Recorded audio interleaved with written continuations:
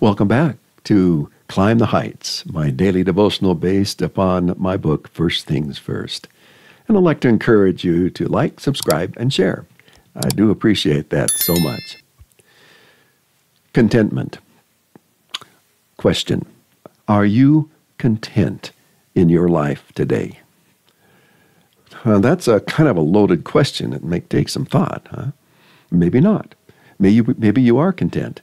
We have all kinds of things in our world that uh, are uh, designed to help us to be content with life. Even some, uh, even things like taking a nice warm bath and relaxing can give you a feeling of contentment. And uh, you know, there's there's a lot of pills that they issue nowadays that help people to uh, to be content. Because people are restless, it seems, in this day and age in which we live. Well, the Apostle Paul, in writing to the church of Philippi, as recorded in Philippians chapter 4, verse 12, says this I know how to be brought low, and I know how to abound. In any and every circumstance, I have learned the secret of facing plenty and hunger, abundance and need.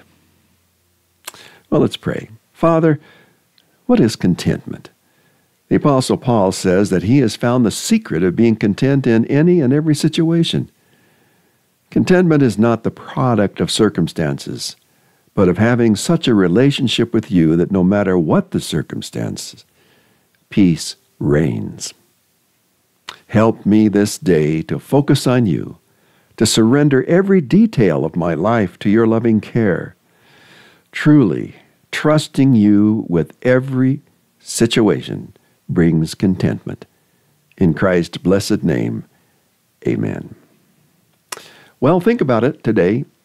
Think about where contentment comes from and turn to the Lord and allow Him to give you that little boost that you need today. And we'll see you on the next video.